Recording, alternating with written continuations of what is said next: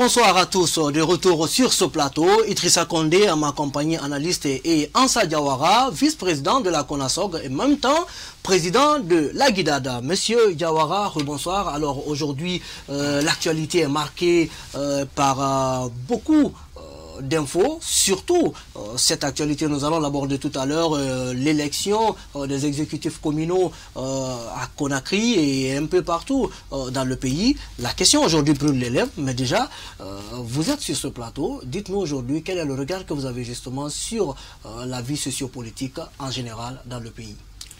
Bien, merci. je dis encore une fois bonsoir aux milliers de téléspectateurs qui sont en train de nous pratiquer. Mm. Euh, aujourd'hui, en tout cas, nous, activistes de la société civile, euh, nous sommes en train de vivre ce que nous avions prévu. Parce que depuis longtemps, la société civile euh, a essayé d'alerter, mhm. et après avoir veillé, d'alerter les politiques pour dire que euh, par rapport à nos lois, voici ce qui est profitable aux citoyens, voici ce qui est bien pour la Guinée. Quand vous prenez euh, le contour électoral, nous avions d'abord proposé que ces élections-là soient des élections citoyennes. Autrement dit, euh, à part entière, ces élections-là appartenaient aux citoyens. Mais comme vous avez vu au départ, nous avons battu le pavé malheureusement, nous n'avions pas été entendus. Les politiques euh, se sont accaparés. En l'occurrence, les deux grands partis, euh, le RPG Arc-en-Ciel mm. et, l'UFDG. Nous avons voulu que les élections soient citoyennes, mais on a dit non, il faut que les élections soient telles. Alors, vous voulez parler de quoi? De, l'article euh, du code électoral Du code électoral. Mm. Tout a commencé là. Mm on a écarté les citoyens. Et un peu devant, nous avions. Mais comment vous expliquez que les citoyens ont été écartés? Pourtant, les citoyens, c'est eux qui votent en même temps. Voilà, quand je dis les citoyens ont été écartés, c'est parce que c'était des candidatures citoyennes, ce n'était pas pour des partis politiques. Mhm. On n'avait pas besoin de délire, euh, de choisir un chef de quartier, on a besoin de les élire. Mhm. Les maires, on les élit. Donc voilà, mais on a dit que non, c'est une jaune, euh, tous les partis politiques doivent s'intéresser jusqu'à ce qu'à dire, euh, jusqu'à aller à dire que les chefs des quartiers seraient élus au prorata des résultats obtenus aux élections communales. Donc voilà ce que nous avons reproché, ce que nous avons condamné, mais ben, on n'a pas été écouté. Après ça, on a fait les élections. Mm. Nous avions dit de respecter et faire respecter nos lois électorales que nous-mêmes nous avions adoptées. Alors, parce qu'en principe, les élections constituent un processus. Et ce processus, c'est comme euh, euh, les roues qui tournent autour des dents. Lorsqu'une dent est cassée, tout de suite la machine s'arrête. Donc nous avions dit qu'il euh, fallait respecter ce processus. Malheureusement, on ne l'a pas fait. Regardez tout récemment, après les élections, en principe, euh, ce que la loi dit, effectivement, heureusement que le jury est là, la loi dit que après l'élection, ceux-là, notre code, hein, ceux-là qui ont des plaintes à formuler, les formulent auprès des tribunaux. Mais après que la CENI finit de proclamer, il n'y a pas de recours. Mais on a vu ici, après que tout cela est fait. Une épineuse question qui nous a ramené quand même très loin, très loin. Euh, dans ce processus électoral. Vous êtes chez vous, vous nous suivez via cette télévision panafricaine. Ici, mesdames et messieurs, nous en parlons. Il est déjà 22 heures passées de 16 minutes.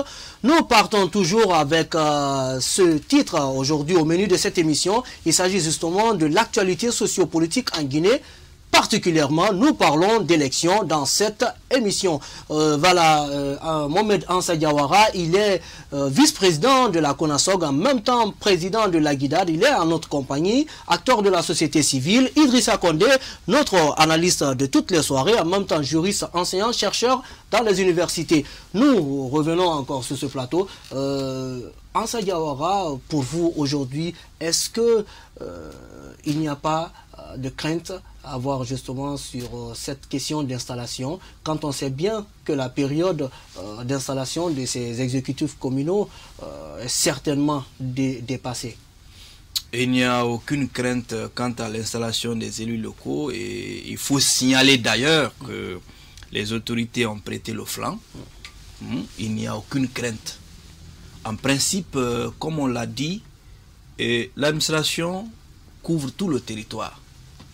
Dans les conditions normales, et tout devrait être apprêté mm.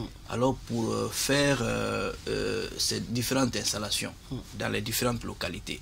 Mais pourquoi s'attarder? Parce que ce sont des considérations partisanes, tel n'a pas ceci, tel n'a pas fait ça, il faut faire ceci, il faut retarder. Non, le temps est compté. Est-ce que vous ne pensez pas que le président même a, participé Mais largement, largement, le président a participé largement, nous on l'a condamné après que le contentieux soit vidé, après que la CENI ait proclamé les résultats, le président n'avait pas besoin de dire oui, il faut faire ceci, il faut regarder. On n'avait plus rien à regarder. Tout était fini. Mais c'est tout ce qui a ramené euh, L'opposition a crié haut et fort les vrais résultats quand même. Non, justement, vous savez, euh, dans notre pays, il faut qu'on respecte la loi.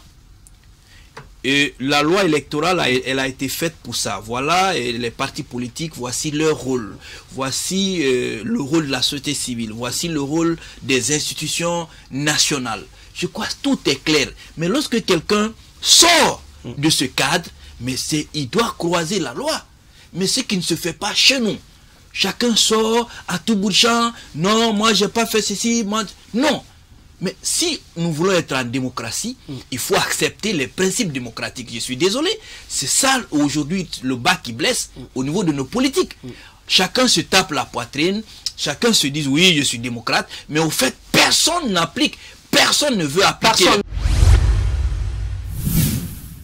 l'activation euh, du comité de suivi, euh, pour vous, cela a participé plutôt à améliorer euh, le processus électoral ou bien à le détériorer je pense que notre État a failli à ses obligations régaliennes en ce qui concerne l'application de la loi sur le système électoral national. Je pense qu'il y a la responsabilité de notre gouvernement de veiller à ce que les lois qui gouvernent notre système démocratique soient appliquées et qu'on sorte de ce système de soi-disant consensus qui nous, qui ne nous sortent pas des problèmes. Au contraire, qui nous enfoncent dans les problèmes et les problèmes continuent. Euh, donc globalement, je pense qu'il y a de la responsabilité de l'État mm. de travailler euh, sur un mécanisme euh, institutionnel mm. qui va renforcer le cadre d'action mm. des partis politiques dans le processus électoral. Et notre processus électoral tel qu'il est aujourd'hui mérite mieux d'être retravaillé et que les acteurs politiques sont appelés à beaucoup plus de responsabilités mm-hmm. dans la gestion du contentieux électoral. Euh, vous voyez euh, ce qui se passe à Matoto. On m'a posé la question ce matin. Nous allons revenir là-dessus euh, tout à l'heure. Je préfère qu'on en parle dans la partie spécifiquement réservée sur ce thème. Je vous ai posé une question, ce comité de suivi que le président même a demandé justement, de négocier, d'écouter les partis. Cela a participé honnêtement, à améliorer ou J'ai du mal à comprendre les décisions du président de la République honnêtement, des fois, j'ai du mal à comprendre les actions du président de la République dans le processus électoral. Vous avez une commission nationale électorale nationale indépendante. Vous avez une commission électorale nationale indépendante. Vous avez un ministère de l'administration du territoire et de, la, et de la décentralisation qui constitue ici les instruments légaux pour permettre d'institutionnaliser le champ politique national et de travailler sur le processus électoral. Comment voulez-vous écarter des instruments légaux du processus électoral pour mettre en place des instruments qui ne sont pas euh, prévus par nos textes de loi. Je pense qu'il faut être conséquent avec les principes démocratiques et qu'il faut aller avec de la pédagogie euh, pour que nos compatriotes qui se sont déplacés pour aller voter pour ces communes justement de Guinée, les communes urbaines et les communes rurales, que leur vote soit considéré et qu'on finisse rapidement avec l'installation des exécutifs communaux dans nos communes rurales et dans nos communes urbaines et qu'on travaille sur... Je vous le disais, beaucoup d'articles de tarot de l'estomac dans cette émission, analyse qui vous permet justement de comprendre et de décortiquer l'actualité Voilà, mesdames et messieurs, de retour dans cette émission. Ansa, Mohamed Ansa Diawara, vice-président de la CONASOG, président de la Guidade, acteur de la société civile, mais aussi Idrissa Kondé, enseignant, chercheur, juriste, en même temps analyste dans cette émission. Voilà, Idrissa Kondé, le ministre de l'administration du territoire de la décentralisation, a décidé euh, hier, annoncé plutôt hier, euh, la reprise euh, de l'élection des exécutifs communaux dans la commune de Matoto que nous avons suivi avec attention ce week-end où il y a eu assez de bruit. Dites-nous aujourd'hui, est-ce que le ministre a droit à remettre en cause cette élection Bon, avant de répondre à votre question, d'abord nous regrettons ce qui s'est passé à Matoto. Ce n'est pas normal. Nous regrettons les incidents malheureux qui ont euh, justement euh, gouverné cette, euh, cette élection à Matoto. Et nous demandons aux acteurs de respecter la loi. Donc, conformément à la loi, si vous prenez l'article 114 du, euh, de la, la, loi 039 euh, du Code électoral révisé de 2017, mm. il a dit que le contentieux électoral est porté devant le juge du tribunal de première instance, du ressort dans lequel il y a le contentieux. Mm. Et je rappelle que toutes les difficultés, tous les litiges qui ont lieu dans un processus électoral relèvent du contentieux électoral. Mm. Donc, seul le magistrat, le juge, est compétent pour invalider euh, justement une élection, euh, quelle que soit sa nature dans notre pays, conformément aux dispositions du code électoral. Je rappelle simplement que le ministre de l'administration, du territoire et de la décentralisation est la tutelle administrative des collectivités locales. Si il y avait eu un manquement administratif dans euh, le comportement de l'exécutif communal, en ce moment, le ministre pouvait prendre un acte administratif unilatéral pour sanctionner euh, l'exécutif communal. Alors, comment est-ce que vous expliquez cela euh, Je, veux dire que, quand vous prenez le cas de Matoto, mm. au moment du vote, les deux parties ne s'entendent pas. L'autre dit c'est moi le vainqueur, l'autre dit c'est moi le vainqueur. Personne n'est d'accord sur son résultat, sur son résultat. Mm-hmm. Donc ça relève des contentieux électoraux. Mm. Donc quand il y a difficulté au niveau du processus électoral, la, la, euh, de par la loi l'article 114 de la loi 029 portant code électoral révisé de 2017, dit que tous les litiges liés au processus électoral relèvent exclusivement de la compétence du juge du tribunal de première instance du ressort dans lequel il y a eu le litige électoral. Et ce litige électoral ne peut être tranché que par le juge. Et si le juge rend une décision, cette décision s'impose au parti. En l'occurrence, l'UFDG et le RPG. Donc en l'occurrence, c'est pourquoi je dis bien en l'occurrence, le ministre de l'administration du territoire et de la décentralisation sur le fondement légal n'a pas compétence et qualité pour invalider les deux parties auraient dû saisir le juge hmm. du tribunal de première instance de euh, la commune de, Mafanko, de, de, Mafanko qui gouverne parce que Mafanko la, qui, la commune de, Matoto, Pour, pour, pour, évaluer euh, euh, la légalité de l'élection hmm. du maire à Matoto. Quand cela est fait, on évalue la qualité juridique de ce qui s'est passé à Matoto. En ce moment, le juge va une décision. Mais en l'espèce, le ministre n'a pas qualité parce que ce n'est pas une question... Euh, quand vous prenez le code des collectivités locales, le ministère de l'administration est la tutelle administrative. S'il y avait eu l'installation de l'exécutif communal et qu'il y avait des manquements dans le comportement de l'exécutif communal par rapport justement aux obligations de la décentralisation vis-à-vis de l'État, le ministre, en sa qualité de tutelle administrative, pouvait prendre un acte administratif unilatéral alors, pour sanctionner. Euh, quelle est la personne qui était indiquée alors pour les partis euh, entériner ces résultats? Le ministère a envoyé un Ou pour l'annoncer officiellement. Non, le ministère... Mais pas un délégué du département de l'administration? Évidemment, le ministère de l'administration supervise l'élection. Mais le ministère de l'administration n'est pas le juge de l'élection. Je ne sais pas si vous me comprenez. Le ministère de l'administration supervise l'élection. Le ministère de l'administration n'est pas le juge de l'élection. Dans notre pays, on est dans un système démocratique. Dans un système démocratique, le contentieux électoral pré ou post